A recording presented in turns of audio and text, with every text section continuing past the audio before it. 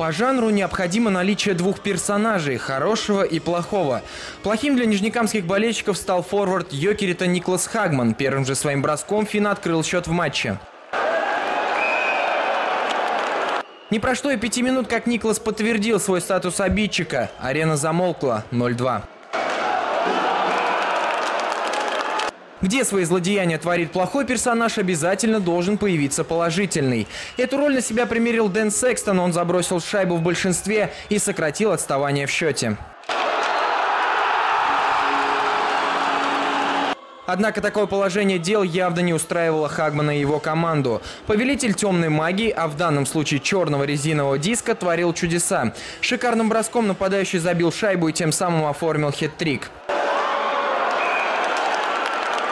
Чтобы окончательно убить интригу в этом матче, Йокерит продолжил, откровенно говоря, издеваться над нижнекамскими хоккеистами. Вновь финнам удалось реализовать численное преимущество – 1-4. Именно при таком разгромном счете команды ушли на перерыв.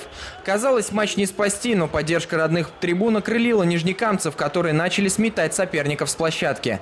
В начале второго периода первые усилия для камбэка сделал Максим Березин 2-4. Спустя минуту дело партнера поддержал и Глеб Клименко. На кураже нефтехимики продолжили действовать уверенно, чего нельзя было сказать о финнах.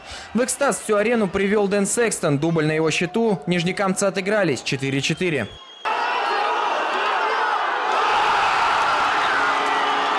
Видимо, камбэк отнял много сил у нижнекамских хоккеистов, иначе нелепое удаление Александра Рязанцева объяснить нельзя. Гости шансом воспользовались.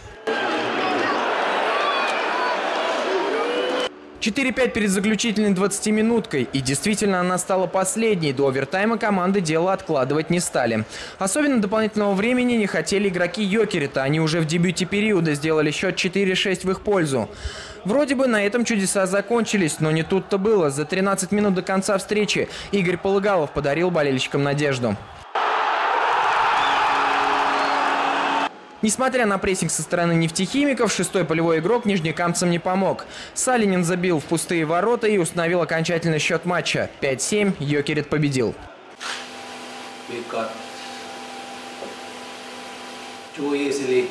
Это была странная игра. Слишком простое начало, легкие голы в первом периоде, и в то же время игра полностью перевернулась во втором.